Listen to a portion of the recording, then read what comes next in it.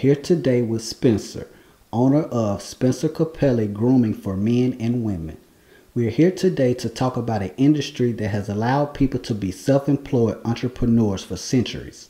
Since entrepreneurship is at an all time high, we're going to ask Spencer some basic fundamental questions on how to get in business, stay in business, and thrive at it. But first, we're going to start by asking him what made him want to become a barber. Uh, actually, I didn't want to be a barber. I used to cut my friends and family hair, and um, I wanted to be an architect. But the classes, the initial classes I needed were full, so my parents advised me to take something. So I took up barbering and uh, just stuck with it. I saw the money involved in it, and I just stayed with it. Do you remember getting your first pair of clippers? Yeah, I do my dad used to cut our hair, and uh, when I started cutting hair, he gave me his. Okay. So that was my first pair. How old were you? Uh, probably about 14. 14. When did you realize you could really cut? After a few months, I, I saw that I had a knack for it. So you pretty much, it came to you naturally? Yes. Which haircut would you consider the hardest to learn?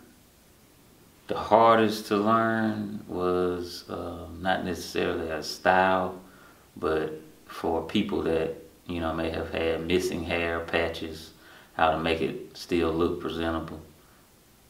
Okay, what's your specialty? Do you have a specialty? I thought about it. Uh, I don't really have one. I would say maybe my lines are nice. Um, I hear most people comment on on that that aspect more than anything. Okay, now we're going to get a little bit more into the business aspect. What's some need to know info for a person trying to get a clientele and maintain it over the years? Advice or tips? Okay. I would say the first thing is naturally know how to cut. um, you got to practice on your skill. Um, be an efficient, good barber, uh, make appointments because people don't like to sit around and wait and keep your appointments timely. Well, barbers have appointments? I thought you just walk in and just sit down and just wait your turn. Well, if you want to establish a clientele, then you need to set yourself above what other people do, or most people, and most people in the Birmingham area, most barbers don't have appointments. So the biggest complaint I get is having to wait. Mm. So you can, you know, eventually eliminate a lot of competition by setting appointments and keeping the appointments. In and out service. Yes. Okay. What type of advice would you have for someone about to open their shop for the first time for working in someone else's shop? About three times more work, and uh, you need to find the best location possible. Location is everything. I know many people have heard it before, but it's true location and parking. What's your opinion on the new salon suites? I think it's nice for people that don't want the big salon atmosphere, uh, the more intimate atmosphere. I think it's nice for that. How important is equipment, brand names, and products that you use that play on your results? Since I'm a barber, my the tools are important keeping them clean, um, sharp, and in proper use. But as far as products go, it's, it's really all in your hand um, outside of the tools. Would you say brand names matter for us, the tools that you use? No, I would say, you know, whatever works for you, that's what you should stick with. What would you say to a barber that doesn't retail? That they're missing out on some secondary income.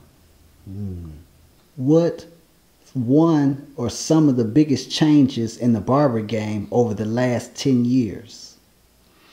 Locally, I haven't seen much. Um, but nationally, I think that the barber industry has came a long way um, to kind of compete more with the salon side or the hairstylist with competitions and more, you know, products more schooling, you know, for these products. So it's came a long way in that aspect. is there science behind the waves? Certain people stand in the mirror, brushing. Is it the do rag? Is it the product? Is it the hair? What's the science behind the waves?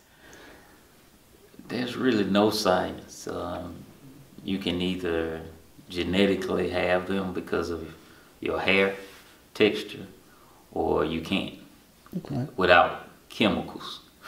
Okay. Okay. So yeah, there's really no science to it that I've found. So this is definitely a field to be able to take your take care of your family and grow in as an individual. Oh yeah, you can make this a career. That's all I've ever done. And do you have to go to school? Yes, you do. Okay, okay. Well, I want to thank Spencer, owner of Spencer Capelli Grooming for Men and Women, coming out, sharing information about the barber industry. Thank you for coming to Channel One. Thank you.